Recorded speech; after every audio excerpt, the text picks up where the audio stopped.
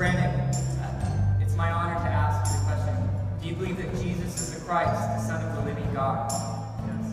And do you desire to follow him as a disciple and friend for the rest of your life? Great. Based on your confession of faith, we now baptize you in the name of the Father, Son,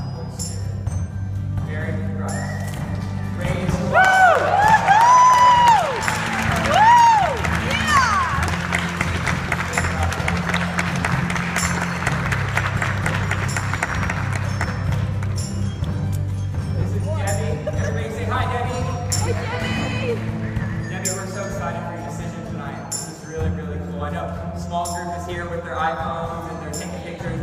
By the way, that's just the power of connection and community. Thank God for that. Debbie, I'm going to ask you a question, and baptize you. But I'm going to ask the question. Do you believe that Jesus is the Christ, this is the Son of the living God? Do you want to follow him now as a disciple for the rest of your life? Based on your confession of faith, Ron will baptize you in the the Father, the Son, and the the Holy Spirit. You can plug your nose. Buried in Christ. Raised to walk in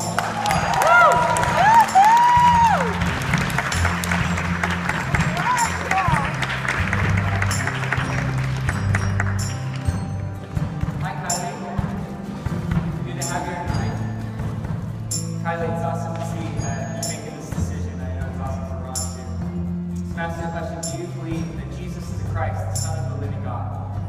Do you want to follow him for the rest of your life?